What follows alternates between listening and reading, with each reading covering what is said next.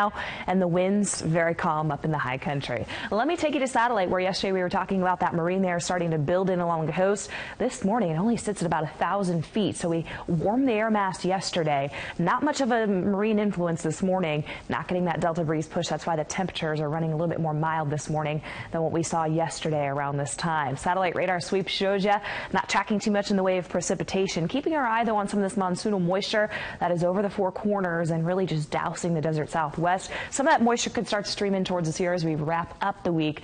Otherwise, for today, we're just going to see crystal clear skies, watching that weather system also to our north, which is going to bring back again the marine layer for tonight.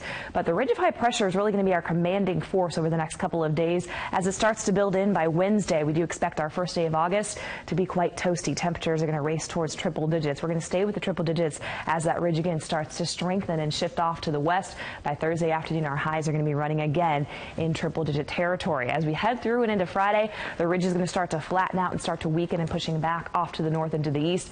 We will see the marine influence return and we'll be keeping our eyes on that monsoonal moisture as well, racing up towards the Sierra as we head into Friday and into the weekend. Otherwise, today, Sierra sunshine to savor 83 at Tahoe, 87 in Pollock Pines.